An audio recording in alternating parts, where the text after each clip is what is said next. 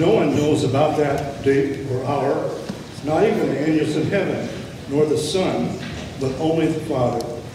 As it was in the days of Noah, so it will be in the coming of the Son of Man. Or in the days before the flood, people were eating and drinking, marrying and giving in marriage, up to the day Noah entered the ark. And they knew nothing about what was going to happen until the flood came and took them all away. That is how it will be at the coming of the Son of Man. Two men will be in the field, one will be taken, and the other one will be left. Two women will be grinding with, with a handmill, one will be taken, and the other one will be left. Therefore, people keep watch, because you do not know on what day your Lord will come. But understand this, if the owner of the house had known what time of the night the thief was going to come, he would have kept watch and will not have left his house to be broken into. So you almost be, so you also must be ready, because the Son of Man will come at an hour when you do not expect him. This is the word of God for the people of God. Thanks be to God. Let's pray. Oh God, we come before you this morning. The blessed name of Jesus, name above all names. Thank you for this time together, this time of teaching. Open our eyes and our ears. Help us to understand the scriptures that you give to us day by day. In the name of Jesus Christ, pray these things. Amen. And so, the title of the sermon this morning is simply this Where are you? And I need to tell you, as a young boy, this was my vision of heaven. A room with my own phonograph, my own record player. And for you younger people that don't understand what a record player is, that would be like having your own YouTube channel with all the different genres of music that you like on it. Having this record player was what my inventory thought, my hope for heaven. For me as a boy, it was really a big hurdle to overcome. You gotta get past those pearly gates. Was I good enough to be judged worthy that the Lord would open the gate for me? Surely God will play a video of my short life and my sins will be exposed. No way would God let me into heaven, was my thinking back then. Not only had I stolen a balloon one Saturday night at the grocery store, but as well, I often didn't mind my parents. I didn't do what they wanted me to do. I had broken the eighth commandment, thou shalt not steal. Not only that one, I dishonored my parents. And I had broken the fifth commandment. Honor your father and your mother so that you may live long in the land the Lord your God is giving you. I didn't even know about big people's sins back then. And back then, these two, number eight and number five, had me really worried. And I thought, boy, I'm in trouble. God pushes that play button on that video. To summarize, as a boy, I hoped to get into heaven. But now as a man, I wait for the blessed hope, the glorious appearing of our great God and Savior, Jesus Christ the Lord. As a boy, I feared my sins would overcome my hope in the Lord. As a man, my hope is in the Lord.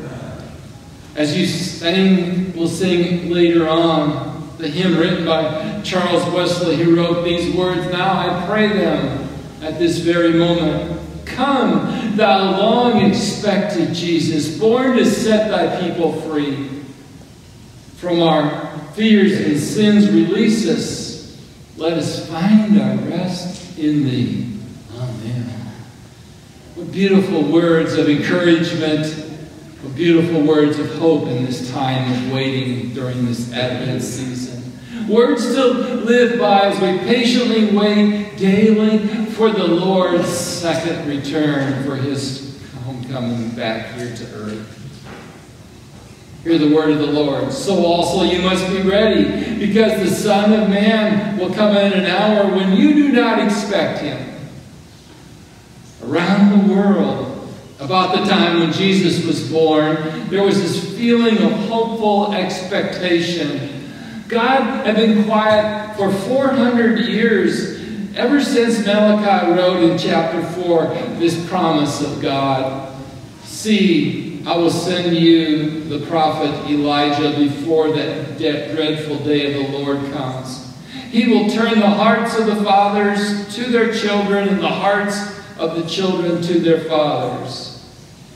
Now God's silence is about to break. I bring you good news of great joy that will be for all people. Today in the town of David, a Savior has been born to you. He is Christ the Lord. So said the angel to the shepherds on a quiet, starry night. History took a right turn that night. Hopelessness of the world turned to hope for the world, lying in a manger in a lowly cattle stall. And so it is today. There is this feeling, for surely the evidence mounts, that Christ the Lord will soon return. He stands at the door even now, waiting for the Father to tell him to bring his children home. For the Lord himself will come down from heaven with a loud command, with the voice of the archangel and the trumpet call of God, and the dead in Christ will rise first. After that, we who are still alive and are left will be caught up together with him in the clouds to meet the Lord in the air. And so we will be with the Lord forever. Amen and amen. Those two great verses give us hopeful expectation of things to come. But we must be ever vigilant, ever ready, always prepared because of what Jesus said in Matthew 24 36. No one knows about the day or the hour, not even the angels in heaven nor the Son but only the Father. Yet, realizing that the Father God knows the day and the hour, and He's the only one that knows, still we ask, when will this come to be? God gives us the answer again in Matthew 24. As it was in the days of Noah, so it will be at the coming of the Son of Man. For in the days before the flood, people were eating and drinking, marrying and giving in marriage, up to the day Noah entered the ark, they knew nothing about what would happen until the flood came and took them all away. This, it will, this is how it will be at the coming of the Son of Man. So let's ask the question How was it in the days of Noah? Let's reach back look back into the book of Genesis and read just how it was. And we read these in Genesis chapter 6. And you tell me if we are not living today in the days of Noah just before the flood. Hear the word of the Lord. The Lord saw how great man's wickedness on the earth had become and that every inclination of the thoughts of his heart was only evil all the time. And then a few verses later, in Genesis chapter 6, we read, Now the earth was corrupt, corrupt in God's sight and was full of violence. Sounds to me like we might be living in the days just before Noah entered into the ark. Corruption, evil, violence, debauchery, sins we never even heard of or imagined 50 years ago are all around us. Yet people live as if these things are routine and part of everyday life. They continue to eat and drink, marrying and giving in marriage. And you say as you sit in the pew, well, this sure is very depressing. And I say, no, no, it is not. We are living in biblical times. Oh, not as in the times of Jesus' birth, but in an exciting and hopeful time of his soon return. Sure, we look around the world and we see that it's falling more and more into sin, and as it falls closer and closer to the fiery abyss. But we take courage, for the Lord is our banner. We put hope in the Lord, knowing what he said in Matthew 24, verse 6. Such things must happen, but the end is still to come. And as we stand firm in the Lord, we don't participate in the wickedness on every side. We, as Christians, do not fear the terror of the night or the arrow that flies by day. We know the hopeful signs of times. Jesus said this as he was giving us this warning in Matthew 24, beginning in verse 32. Now learn the lesson from the fig tree. As soon as its twigs get tender and its leaves come out, you know summer is near. Even so, when you see all these things, you know that it is near, right at the door. People, be hopeful. Know that the day of Jesus' return is soon upon us. Our day of liberation is just ahead. It could even be this afternoon. See the wickedness all about and know that our blessed hope, our great God and Savior, will soon be at the door. He will soon be here. Get ready, oh, you Christian. No need to pack any bag, for when Christ returns, you'll be leaving all your earthly stuff behind. Just make sure that you're not the one left behind. You know, I recently watched a movie, and the underlying theme was don't save the best for last. That, my friends, is what exactly God does for us. The Spirit of God, the Holy Spirit, is a gift, not a reward. The Holy Spirit enters in. God gives us the Holy Spirit at the beginning, not the end. Only with the Holy Spirit with us at the beginning can we stand through these times, can we stand until the end. Earlier, we looked at the days of Noah, the extreme wickedness that permeated the hearts of men. Sin ran rampant in the world. How did seeing and know, knowing this make God feel? Genesis 6 6 tells us. It says that the Lord was grieved that he had made man on earth and his heart was filled with pain. Imagine that. God's own heart filled with pain. God knew that to fix man, he would have to destroy man. And so he sent the flood. You know, the same thing happened with Adam and Eve. Sin found them, and needless to say, God's heart was broken. But though the world is generating a feeling of hopelessness then and now, God continues to bring us a blessing of hope. Just like Adam, who once, as the Bible says, walked with God in the cool of the day.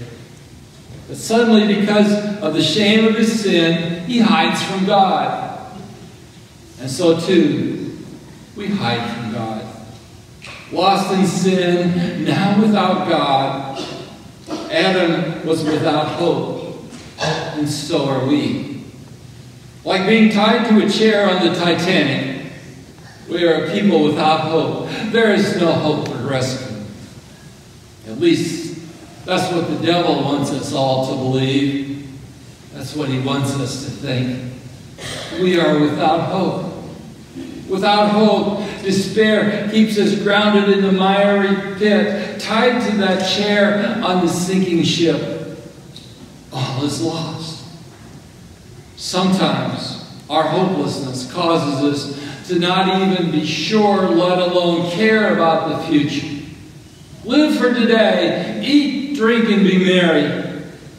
Lost in sin and not even caring.